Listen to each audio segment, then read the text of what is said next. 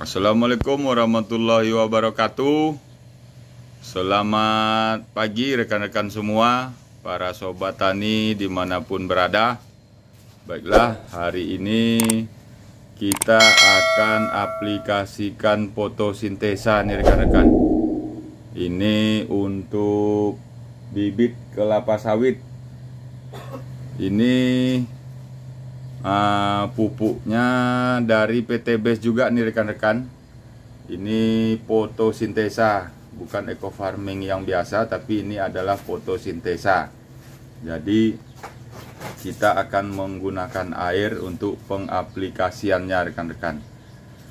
Kalau tanaman kita uh, ada sumber airnya jadi di sini bisa juga kita menggunakan fotosintesa dia sama juga dengan Pilo Slow Release uh, produksi dari PT Best. Tapi kalau yang fotosintesa ini menggunakan air kalau Pilo Slow Release tidak menggunakan air cukup ditanam saja. Ini dia rekan-rekan pupuknya uh, di sini bisa untuk semua jenis tanaman nih rekan-rekan. Bisa sawit bisa sayuran. Uh, ini satu kotak ini isinya 12 uh, saset atau 12 bungkus nih rekan-rekan. Jadi satu bungkus ini bisa untuk 5 tangki nih rekan-rekan satu saset ini. Uh, ini akan kita aplikasikan juga untuk bibit kelapa sawit nih rekan-rekan. Sama-sama akan kita buktikan rekan-rekan. Uh, ini dia Nah, nih kalau ini beda pupuknya nih rekan-rekan. Nah, ini dia beras dia pupuknya nih. Bukan beras lagi nih pupuknya. Ayo man, buka man. Oke. Sinilah tengokkan sini ya ke bawah. Cara membukanya rekan-rekan. Hmm. pakai gigi gigi Oh, jangan ini. Nah, Hmm. Ini Berapa? bisa kita ini kita bagi dulu rekan-rekan. Ini satu sendok lah man. Sendok. Satu sendok. Itu satu sendok tuh kurang lebih 200 Pas tumpah bro. Oh, mahal nih. Ya. Dah, masukkan. Aduk, Pakai air. kasih air. Ya. Oke. Didiamkan dulu. Atau mungkin nanti rekan-rekan bisa juga ini dimasukkan satu saset ini untuk satu liter air setelah di eh, aduk dengan satu liter air kemudian dibagi lima rekan-rekan untuk lima tangki air. Nah ini dia. Ini dia jadinya rekan-rekan. Bentuknya nih nah, mantap sendok kawan Nggak apa-apa ini. Ini Ya. yang ada. Aduk kita rekan-rekan. aduk dulu Ini kopi hitam. ya ini kita akan ini jangan dimasukkan kasih air dulu mandi Air dulu. tangki ya Oke, siap. ini kita akan melakukan aplikasi terhadap ke bibit kelapa sawit. Nah,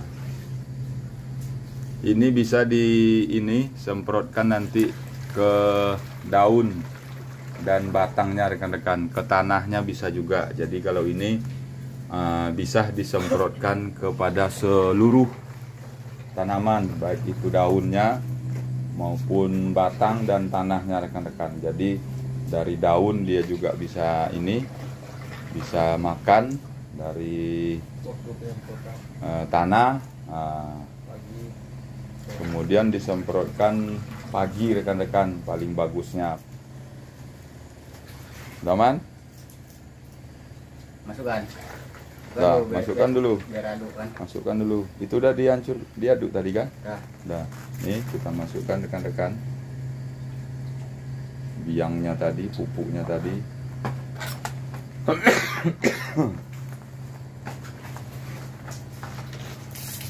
Jadi kalau kebun kita ada sumber airnya jadi ini sangat murah juga nih biayanya rekan-rekan. Sangat praktis.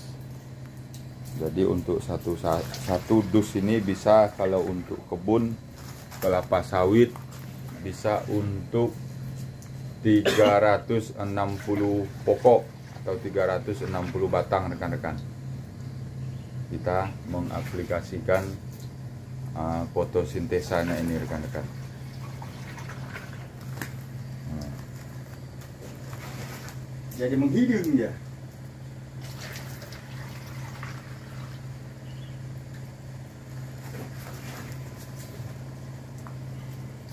airnya harus air ini ya rekan-rekan. Air bersih. Air dari sumber mata air atau dari air sungai masih bisa jangan air yang yang wadah ditampung di drum. Nah, itu nanti kita uh, kurang bagus hasilnya. Nah, penuman. Oke. Ini. Kita akan aplikasikan. Lihat contohnya rekan-rekan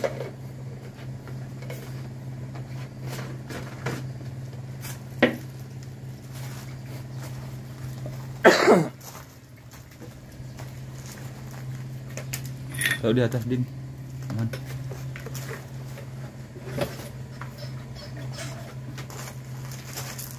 Oke.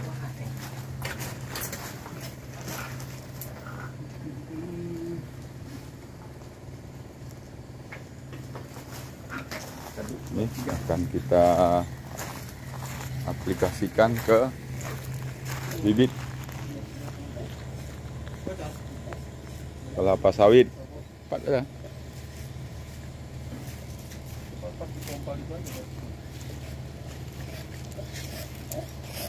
Nah, ini bibit kelapa sawitnya.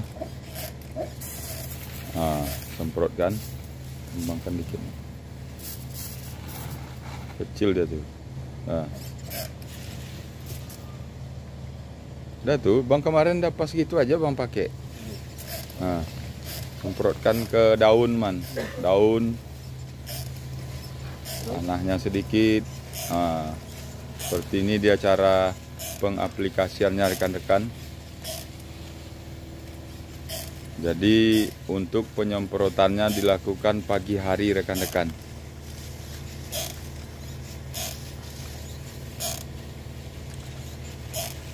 Nah, seperti ini dia rekan-rekan. Jadi nanti sama-sama kita buktikan juga bagaimana hasil dari uh, fotosintesa ini rekan-rekan terhadap bibit kelapa sawit. Nah, ini dia. Ini bibitnya sudah berusia kurang lebih 7 bulan nih rekan-rekan. Mau memasuki 7 bulan nih. Nah, ini dia. Bang Arman. Kumaha? mantap Oh, ini dia rekan-rekan. Jadi ini uh, pupuk cairnya nih rekan-rekan. Kita harus menggunakan air dalam mengaplikasikannya rekan-rekan. Mungkin hanya ini yang dapat saya sampaikan rekan-rekan. Lebih dan kurang saya mohon maaf. Go berkah no riba. Tanaman subur petani makmur. Dan saya akhiri wassalamualaikum warahmatullahi wabarakatuh.